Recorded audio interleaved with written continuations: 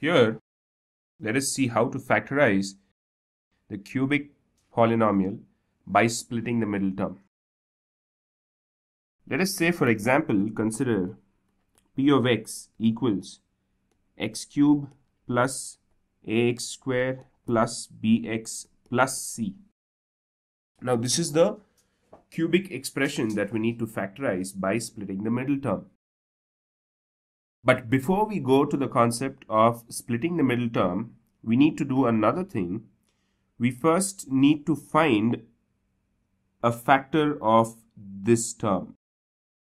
So all we have to do is take the constant number here without the variable x. The constant number here c, it can be anything in an actual problem. It can be 5, 4, 3, whatever that is. So take this constant that is c and find the factors of C. Now, by trial and error method, substitute the factors of C in this expression P of X and see what gives you 0. That is, say for example, the factors of C are plus or minus D and plus or minus E, just for example. So, what you have to do is plug in d plus d minus d plus e minus c, whatever it is, every possible option in this expression in the place of x. So say for example, we substitute d in the place of x. So that is p of d. Now if this gives us 0, then we have x minus d as the factor of x cube plus ax square plus bx plus c. Now, if you didn't understand how I got x minus d, please go back to the factor theorem. This concept will be clear to you in the factor theorem. So, now x minus d becomes a factor. Once p of d gives you 0, x minus d becomes a factor of x cubed plus ax square plus bx plus c.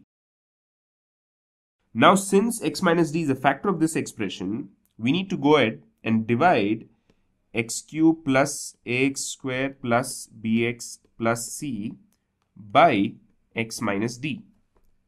Now when we divide this, we are going to get a quadratic equation. That will be of the form ax square plus bx plus c.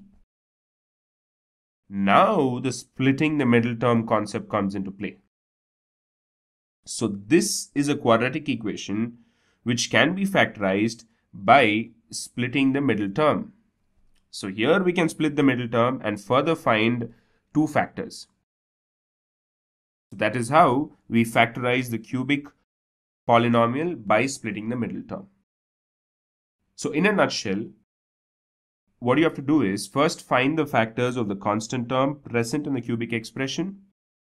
See which one of those factors satisfies the expression and based on that find the factor now once you find the factor of this expression, divide this by the factor and then you will get a quadratic equation.